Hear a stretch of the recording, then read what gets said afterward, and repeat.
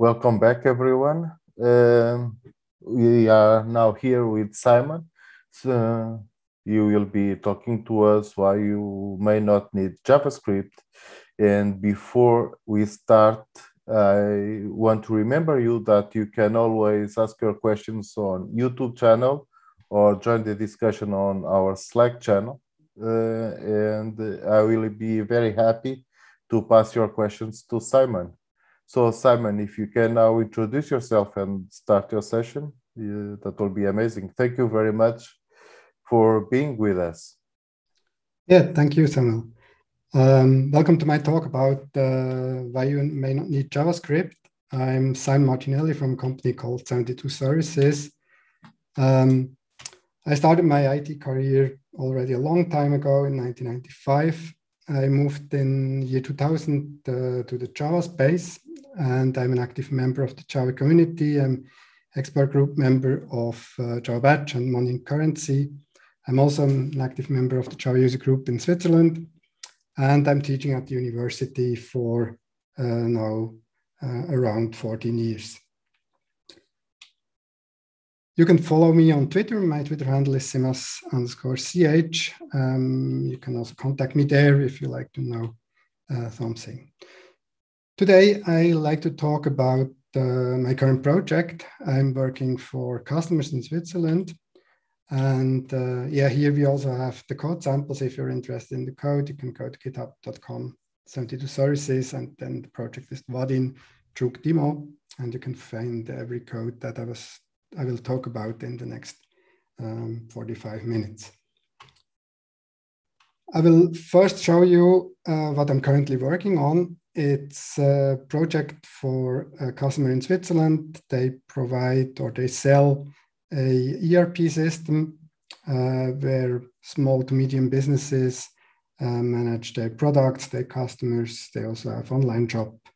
Uh, on top of it, mobile devices, etc. But the backend system and the system that the user uh, usually uses to uh, edit the data like the customers or the products is currently what you can see here on the left hand side. It's a uh, application that is uh, written in Oracle Forms. Oracle Forms is a technology that generates, in that case, a Java client that is downloaded uh, via WebStart and interacts with, uh, with the database. And uh, because this UI technology is no longer modern, they were looking for a replacement um, of this ERP client. And first, they were looking at some low code, no code, uh, rapid application development tools, however you name it, um, to help them to generate most of the UI and don't uh, have the need to replace each screen um, um, like uh, they must do if they choose a new technology. But the problem was that, uh, as you can uh, imagine such a rapid application or no code environment is usually just an 80 20 solution. So you can solve around uh, 80% with this tool, but there are remaining 20% with special cases, uh, and this will take a lot of time to implement. And uh, they struggled uh, during uh, proof of concept with this rapid application tool, and they asked me if I can help them. And when I came in in the project, I had a look at the rapid, rapid application development tool. And uh, what I saw is that this rapid application development tool did something similar like Oracle Forms. It generated either a Swing or a, a Vaadin web client. But what they really want is a web application. As you can see here, that's the current state of the application on the right-hand side. So it's a, a browser-based web application. And um, I had a look at what they need to do, and uh, we came to the conclusion that we may be able uh, to generate a lot of of the, the UI uh, from uh, database structures and some metadata in the database. So some numbers about the current system. The ERP system is based on Oracle Forms, as already said. It has around 800 forms. That means it has, has around 800 screens they have uh, close to 2,000 tables and views, um, 4,600 procedures and functions. These procedures and functions are the business code. So the business code is currently in the database and will stay in the database because they also have uh, other parts of the application that uh, is using the, the, Oracle database. Oracle database provides uh, ORDS, Oracle REST Data Services, so it can uh, define REST APIs based on procedures, functions, or uh, simple select statements, if you like to. So they have other applications that are integrated with that. They have mobile clients that integrate with the database.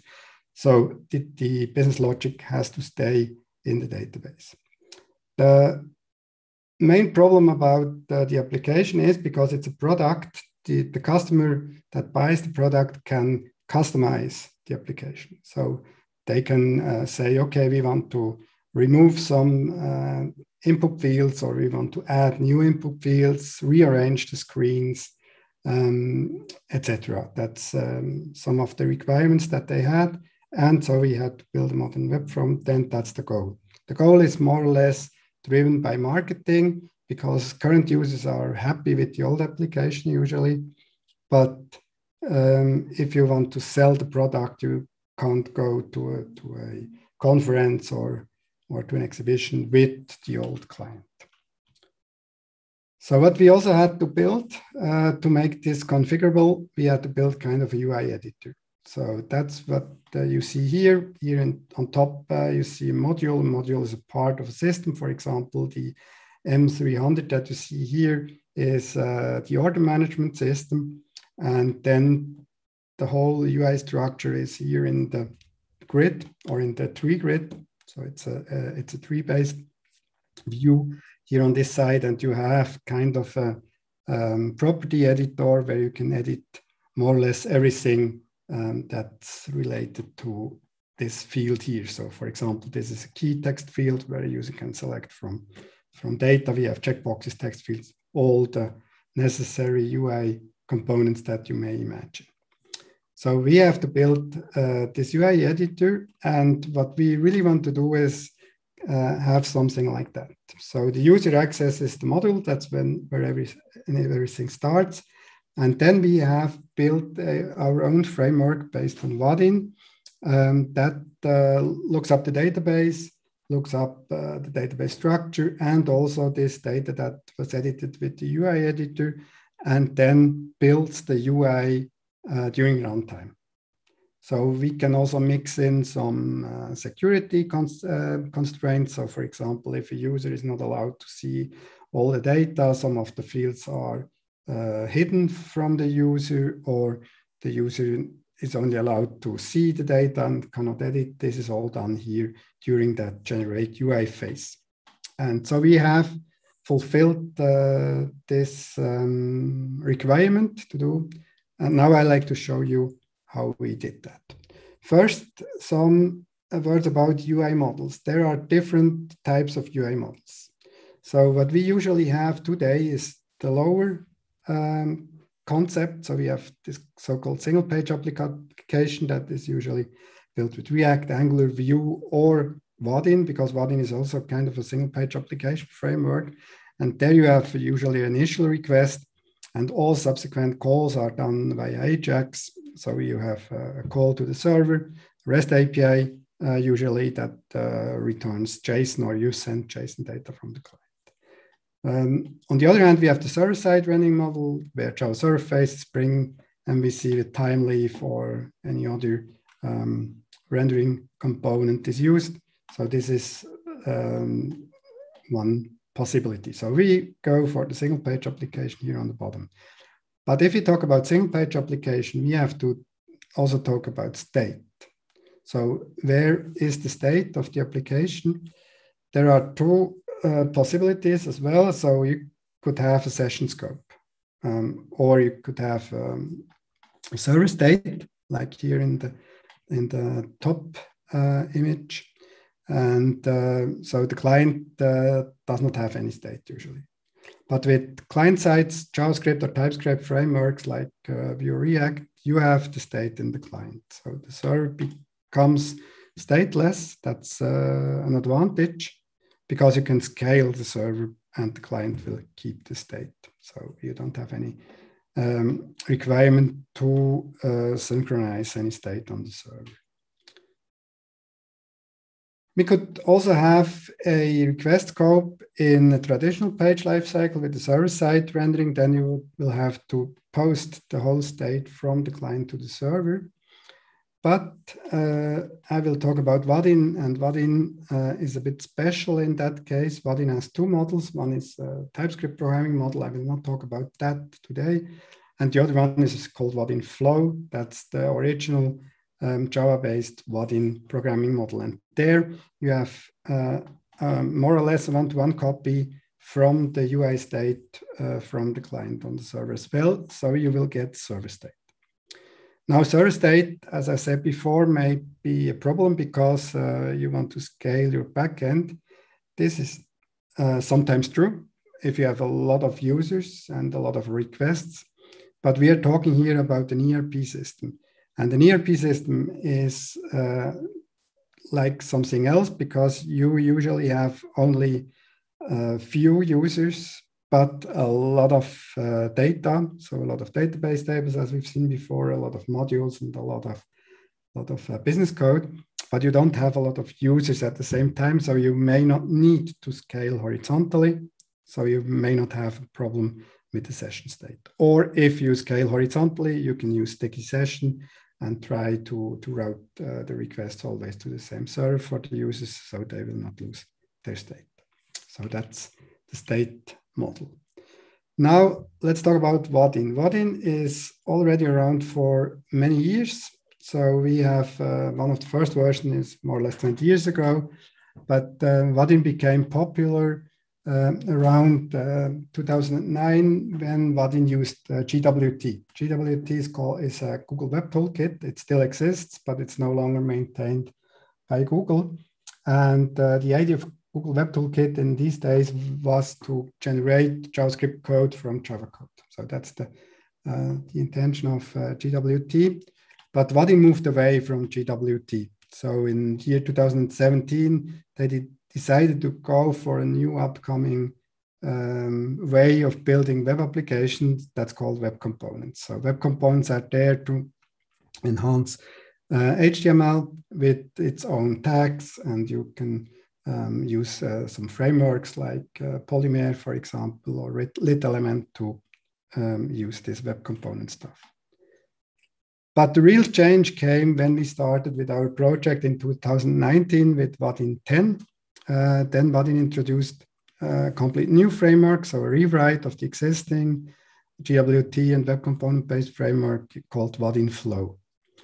And uh, Vaadin Flow um, has some um, special um, features. So first of all, it, everything that Vaadin uses is a web component. So you can use this so-called Vaadin components also in other applications without Vaadin. Um, so if you're using web components, uh, you can have a look at the Vaadin components, and if you like them, you can use that. You don't need to have um, these components. But what Vaadin does with Vaadin Flow, uh, it uh, encapsulates the web components and uh, creates a Java representation of the web component, so you can have a fully Java-based server-side programming model and don't need to write any JavaScript or TypeScript code on the client. That's the idea of Vaadin Flow.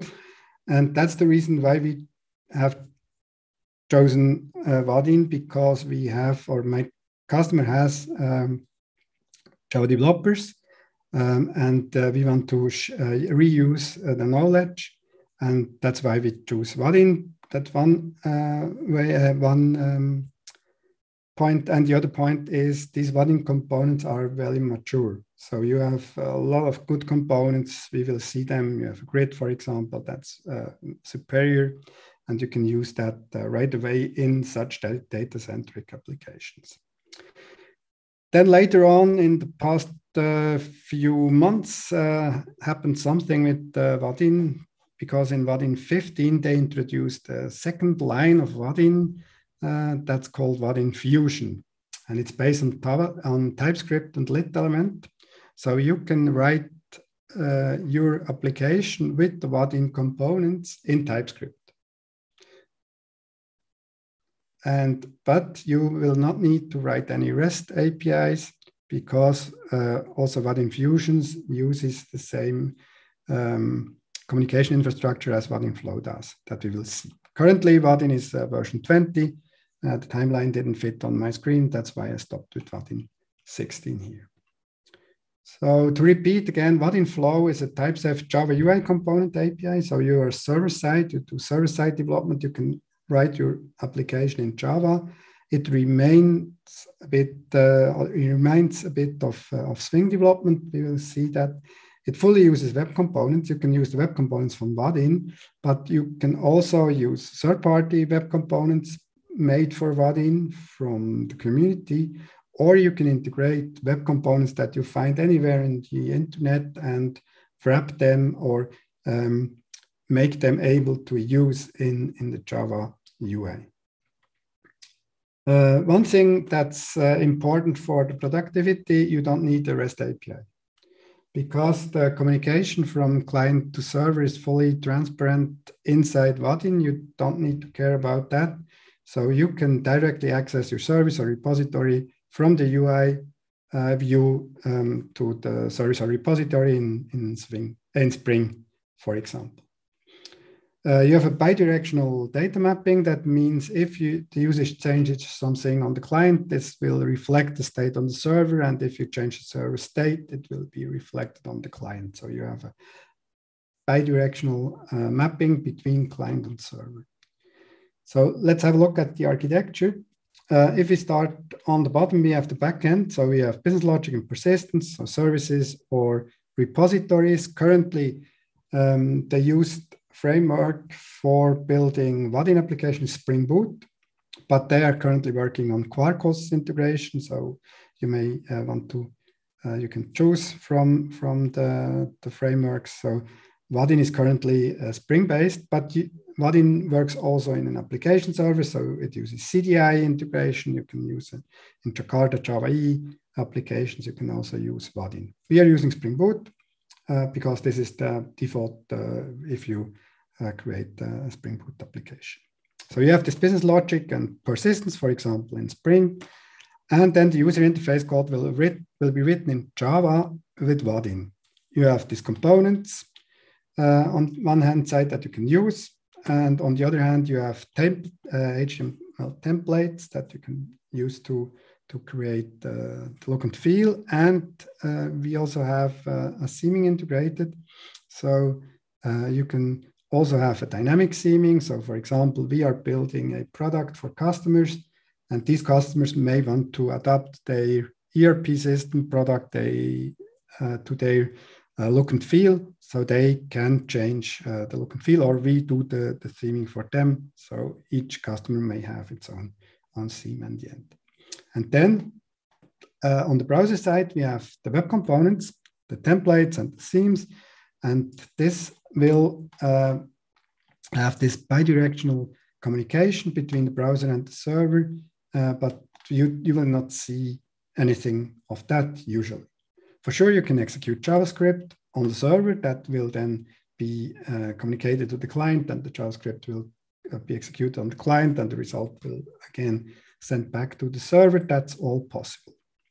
And if you look at this picture here, uh, the other part of Vaadin um, that I was uh, talking about was Vaadin Fusion. In that case, you will write your whole UI code on the browser side in TypeScript, but we'll have the same communication mechanism here between the browser and the server as you have with Vaadin Flow. So how to start? Uh, you can start with uh, local development, for example. So you can uh, go here to startvaadin.com.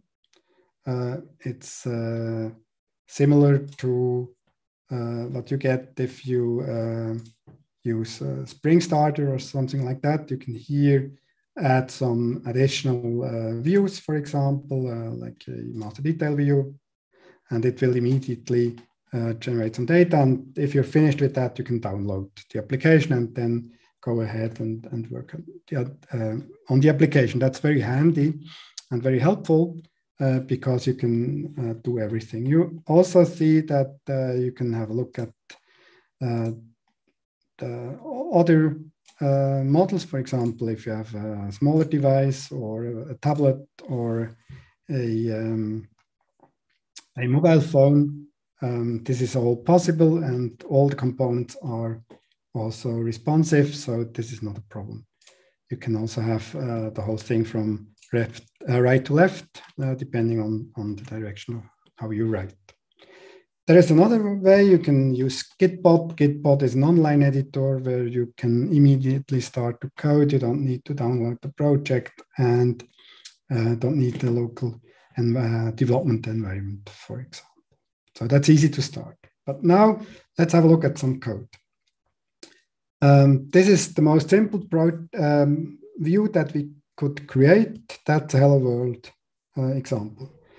When we start um, at the top, we see here an annotation route. Route means we have um, a Vaadin component or a Vaadin class that uh, is bound to a URL. For example, here we have a hello view. We didn't specify name of the route. So um, by default, it will take everything that's before view because view is the suffix um, the default suffix, so the route will be hello.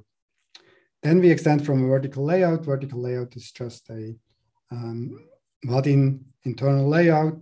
Uh, everything will be like you see here from top to bottom, uh, like on a stack.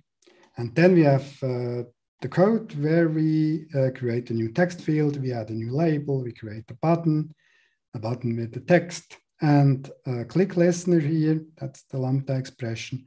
And so if somebody uh, clicks on the button, we will uh, say uh, hello. And then we can add text field label and button, and this will then uh, be on, on the screen. That's it. So it's very easy at the end. Uh, and we can have a look at this in the browser. I hope my application runs. And uh, so let's see. That's the wrong one.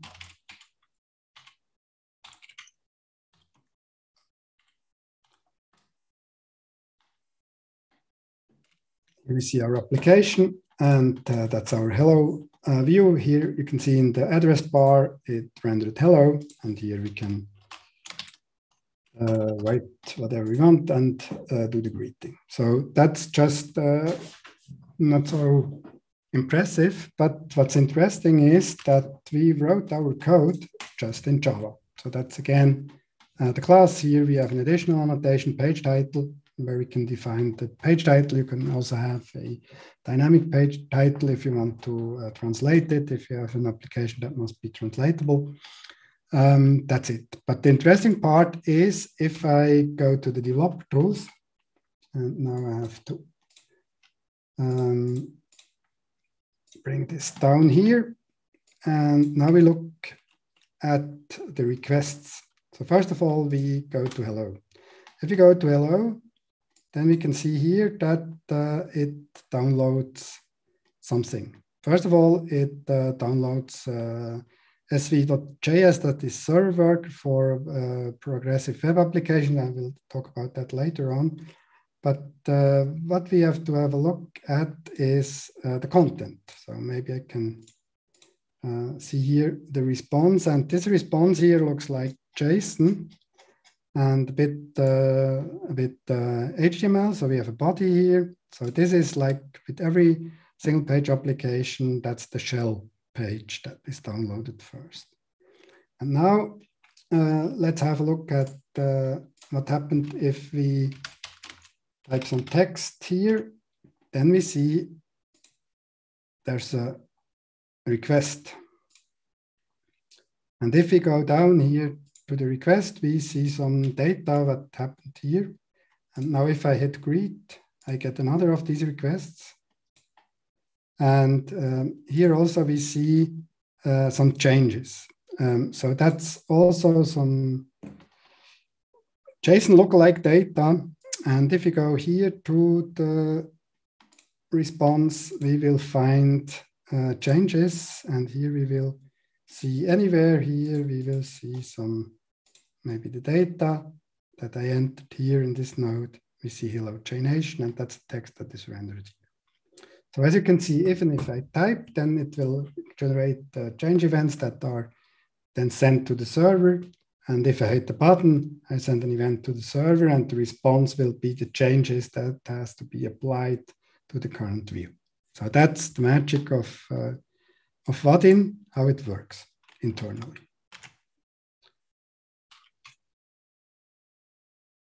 Then uh, Vaadin introduced something new because if you know Vaadin from previous versions, uh, Vaadin wasn't uh, aware of that it's a web application. That changed a bit. You still program in Java, but uh, Vaadin embraces also uh, web concepts.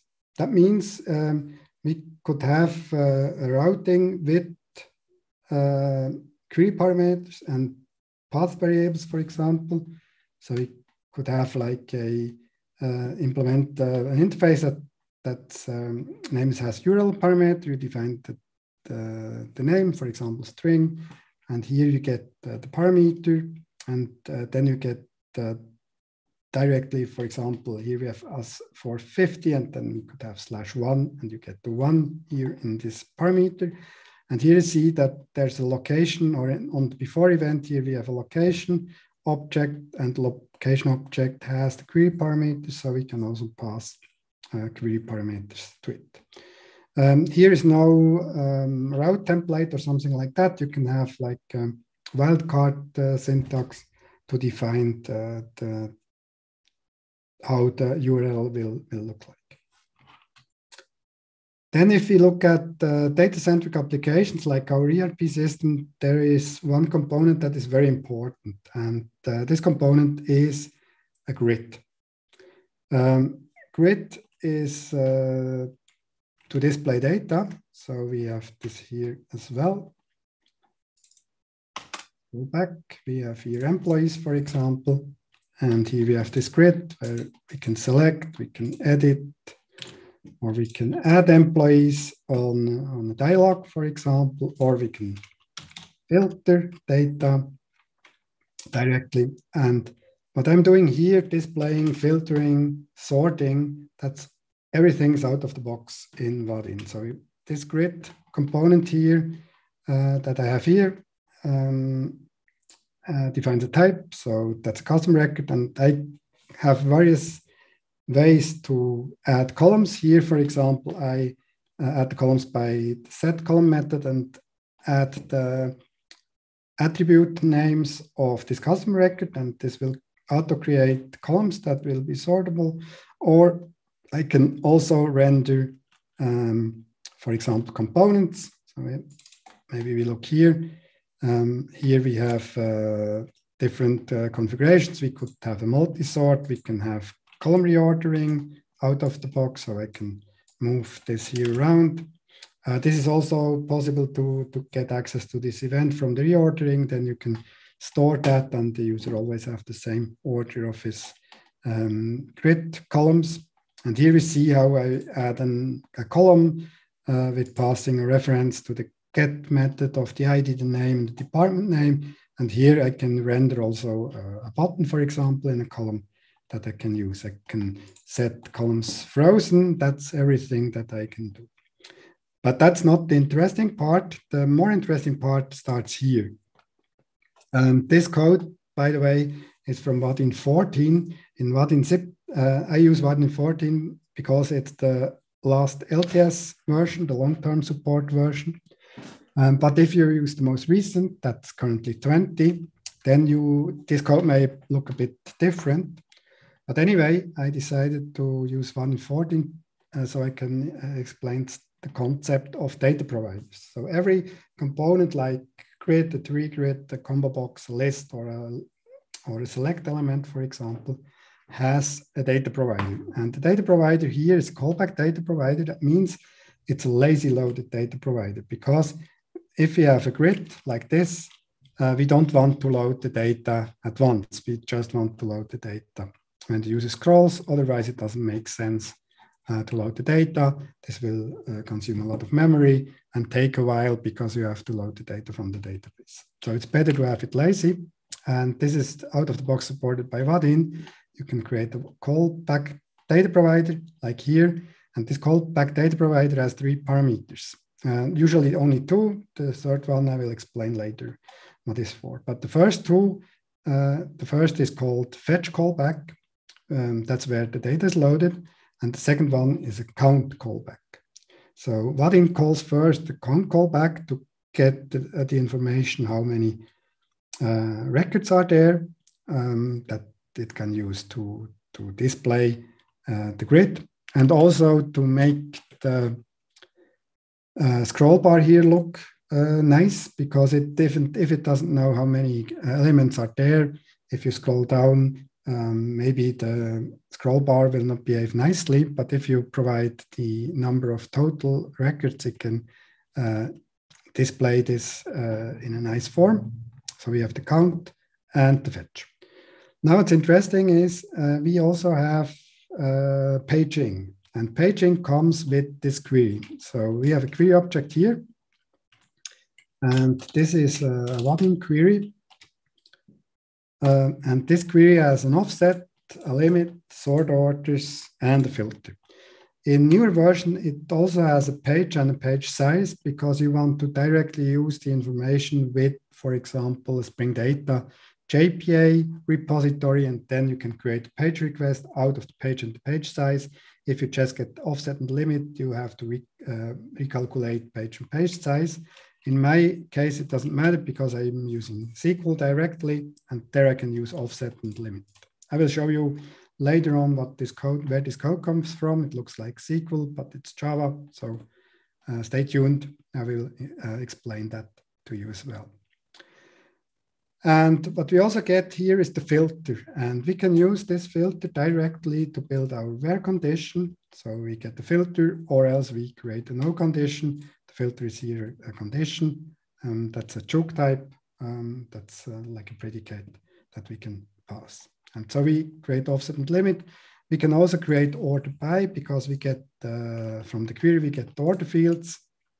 So, sorry, we get the order fields and um, we can um, change this sort order. Here in the sort order element, we have uh, uh, the column uh, that is sorted by and sort direction is ascending or descending. And so we can use that directly to build, in this case, the SQL statement and display the data. So in this uh, tiny example, we even didn't have, don't have a repository. We directly access the database from the view. That depends if this is a good idea or not. I did it for because uh, it's more simple to show you, but maybe here it would be a good place to, to add a repository that you can also test. And this filter, where does the filter come from? Um, we have the filter text field. And uh, as you have seen, I can type here. And uh, when I type it filters, and uh, this is done by uh, value change listener here on the text field. And then I can call on the data provider set filter method and pass a condition. And the condition is again something from, from jOOQ that I use. If I don't have a condition, I clear the filter so I don't have any filter anymore. That's the way uh, this works.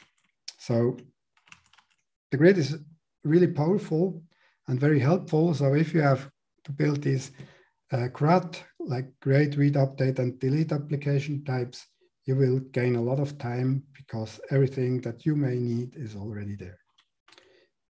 The other thing that you also need uh, is our forms. So if you have look uh, here, we have uh, like this edit dialog. This could also be part of the screen. I decided to use a dialog. It doesn't really matter.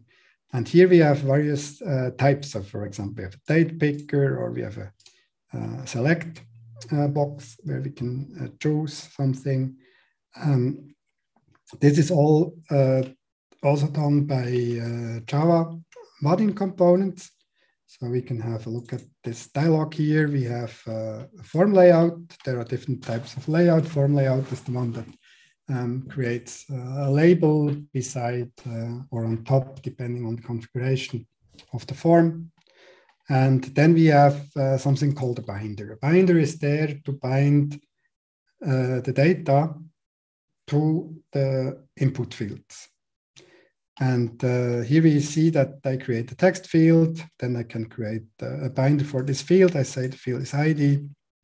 And it binds to get uh, ID from the employee record. The setter is null. That will then render, as you can see here, a read-only uh, text field. Or we have here the name. There we can define that it's required. So if I create a new employee and don't uh, enter anything here, then it uh, has this required uh, indication. Or we can have um, a validator. Again, if I enter data and just uh, enter one uh, character, then it uh, may render this. By the way, this is not a good example because there are uh, names that have less than three characters, by the way. But it's just uh, for, for the demo here. And here we have the getter and setter, so it's a read-write field. We can have a date picker, we can have a select element, whatever. And here we see that we also can use set items to have a eager loaded list. For example, the departments are fetched all at once because we only have two. So it uh, doesn't have to be lazy. So we set directly um, the departments. And then we have a button, for example, and the button then will uh, open the dialog. And in this dialog, we also have at the end the save button that will use a transaction to save the data to the database. That's more or less uh, the whole magic of, uh, of this. Here again, uh, I forgot before, here we see that uh, the parameter stuff, how to get uh, the query parameters, and then you can do whatever you like to uh, with this. Vaadin has a lot of these has interfaces. So these are interfaces that um, are used to uh, declare uh, what the component is able to do. So we have uh, URL has error, as dynamic title, for example. These are these interfaces that you have here. If you look at the components, there are many more. So you have uh, has component, is focusable, has text, has theme, has value, whatever. You can use them uh, to check what kind of element uh, you received, for example, in your in your method. So this is the form. You have validation, you have converter, uh, you have everything you need at the end uh, to build a form. Now, sometimes uh, you want to do something in the background. For example, uh, in our application, the user can export uh, the data that is displayed in the grid directly in an Excel file. And uh, depending on the size of the grid, this may take a few seconds. So it's not a good idea to do this synchronous. So we can do that asynchronous. But the question is, if we do something asynchronous, how do we notify the customer or the user? Um, this is very easy with uh, Vaadin as well. You can use uh, push notification. Vaadin uses Atmosphere. That's a push framework that uses um, WebSockets, but also can fall back um, to long polling, for example, if uh, WebSockets are not available. And uh, what you can see here, this is, uh, is an example to, to uh, to display uh, um, a message after while. So it sleeps for five seconds and then it displays hello world or hello from thread. This code is also available here. So we can have a look at it right in the code. Uh, this is this notification view. And uh, what's important to say here is um, this line of code here if you remember Swing or AWT programming or Eclipse RCP with SWT, then you know that there is a UI thread and you only can access the UI in the UI thread. So if you do like uh, threading, you have to get UI thread to display something. In Vaadin, it's similar. It's not the thread, but the UI that you need, there's a UI object and you have to call UI access on this element and then you can notify uh, the user otherwise it will not work. That's uh, one thing to remember but you really can push. And this is very handy because we can then display a progress bar and say the excel file is generating in background. And uh, once it's finished um, we will get back to it. Vaadin also has a test support with test benches based on Selenium and WebDrivers. Um, it's only available in the commercial version, by the way. Vaadin has a dual licensing model. So if you're using just the, the open source part of Vaadin, then you can use it uh, for free. If you want to use some of the special uh, commercial components or uh, this test bench, then you can, can uh, and you have to pay for. Because Selenium as a test framework does not support web components at the moment, um, that's the problem. Uh, there are other uh, web uh, test frameworks that you can use for sure, because you, as long as it supports web components, then it's not a problem. I was talking about PWA. PWA support is also there for Vaadin. You have this uh, web manifest and service worker, and we've seen this SV.js that uh, by the way, you can customize that uh, and do then some um, stuff in the background or in offline mode. But we also see here uh, that there comes a button install and I, I can install this application and I have a shortcut on the, on the desktop, for example. That comes out of the box if I use PWA in Vaadin.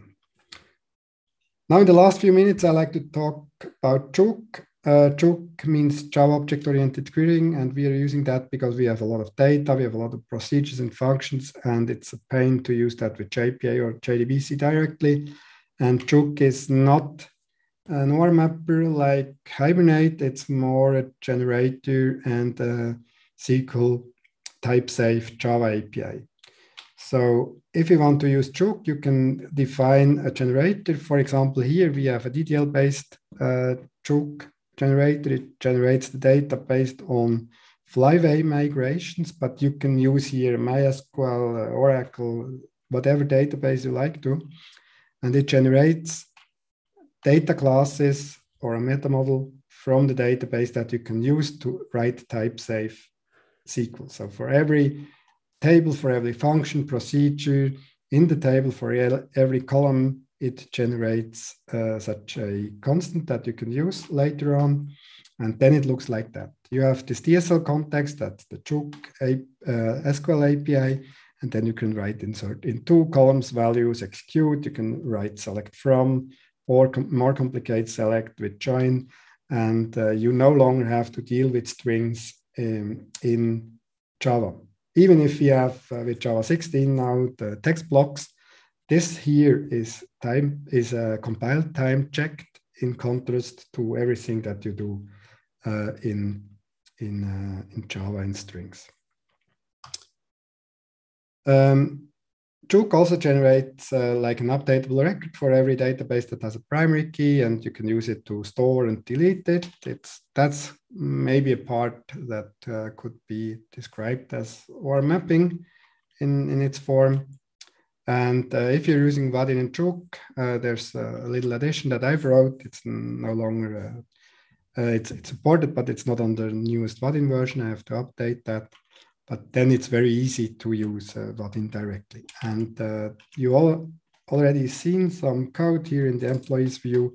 That's where uh, jOOQ is used. And you see here this code here, that's a SQL statement to get the data. And this is, as I said, type safe because it's checked against um, the database. And if I change something, because I can do that, well, let's have a look. Let's stop the application. And uh, we have here the DB migration with the create tables, for example. And if I go here and say, okay, we have not the name, we have a first name and the last name, like that and then I uh, create that with uh, Maven because it's a Maven-based uh, application here. I do compile, then it regenerates uh, the jOOQ uh, code from the database, as you can see here. And uh, then we have, oh, I have a problem, sorry. What did I wrong? First name, last name.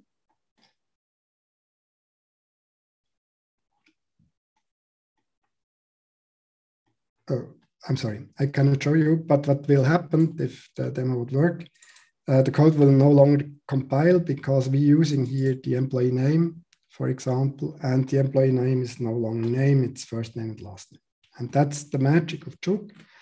I highly recommend if you're using SQL currently in, in uh, Java or also Hibernate, uh, have a look at it. It's, uh, it's worth to look at it. You can combine jOOQ and uh, Hibernate as well because you can uh, define the SQL statements or the, all the queries uh, in this uh, DSL with the type safe um, classes generated by jOOQ, but uh, as a result, you can also have entities and then manipulate the entities and save the entities if you prefer this way. For us, uh, as I said, Hibernate was not an option because we have close to 2000 tables and we had to create 2000 entities and that's not feasible. So we, we went with uh.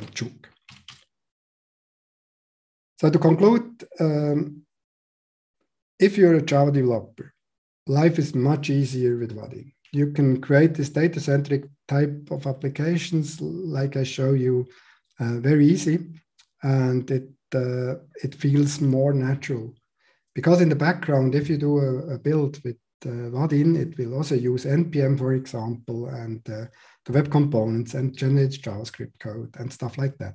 But you don't touch it. You don't have to touch it and you just know your Java code and Maven build tool, and the rest is all managed by Vaadin, and that's very, uh, very handy and uh, speeds up your development time.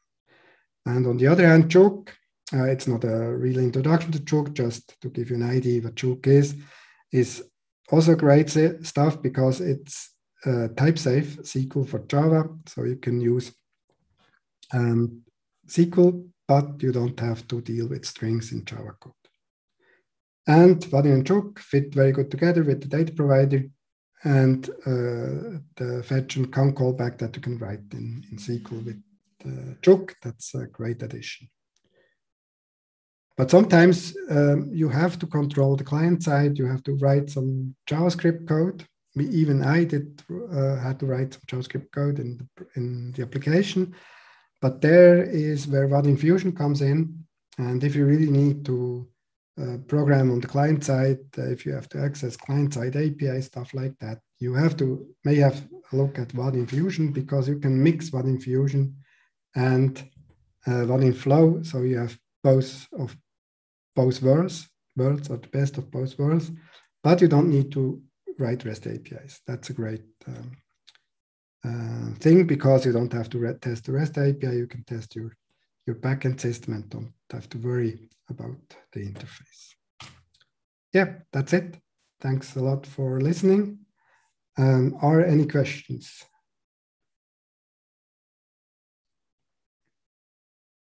Thank you very much, Simon.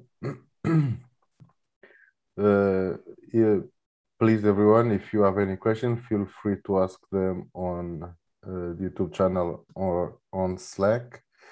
At the moment, we don't have any question. Let's wait for a couple of minutes before we we close we close it down.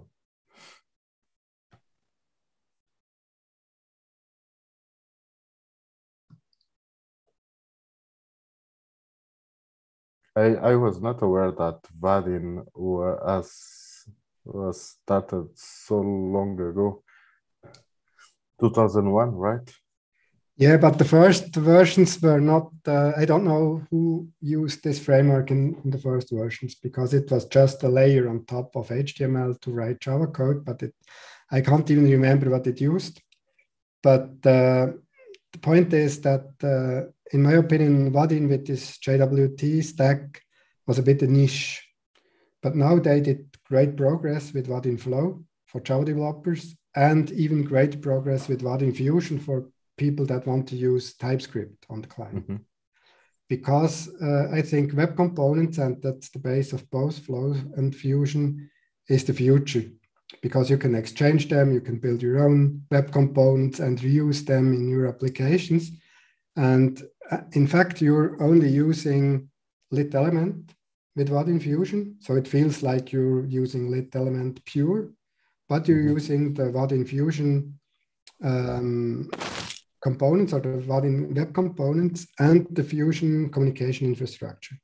So you don't have to um, write the REST API. You just can annotate the Java class on the backend, uh, and then Vaadin will generate the TypeScript access code for uh, this endpoint on the server. So it makes life easier because usually um, if you're a kind of a full stack developer. So if you split your team and you have really front end and back end developers and they are separated, maybe it's not uh, the best framework. But if you have smaller teams with full stack developers, Vaadin can boost your uh, your uh, development performance um, because you have to write less code. Mm. Actually, uh, what uh, we are seeing at at least in the scene that is near me is the first option. A lot of companies are uh, specializing the team in either backend or front end. So they have people specialized on that areas. So maybe for those companies, it doesn't make sense to to to use Vaadin, but in companies that uh, most of the people are still are Java developers, that may be a good fit at uh, at this moment. Yeah. That uh, for me the best thing is that I don't have to deal with uh, the JavaScript build stack. Yeah, a lot of people that go, that work with Java uh, prefer not to touch that part. Yeah. Not not not to speak about CSS because that's even worse for for them. yeah, the styling the styling part is is done pretty well uh, in in Vaadin because we have uh, two themes out of the box. One is Lumo, that's the default theme, yeah. and the other is a materials theme. And you, it's very easy to. There are some CSS variables that you can change with the colors, and then you're done. Yeah, and without you, without uh, having to move a pixel up, a pixel down, right? Exactly. but that, okay. Yeah. Sorry. No, it's okay. I was saying that uh, we don't have any questions. So if um, if someone wants to ask Simon a question, please do so on Slack. And Simon, if you can join the discussion on Slack, sure. we will appreciate. It. Okay. Thank you very much for your time, Simon. Yeah, thanks for having me. Bye. Bye bye.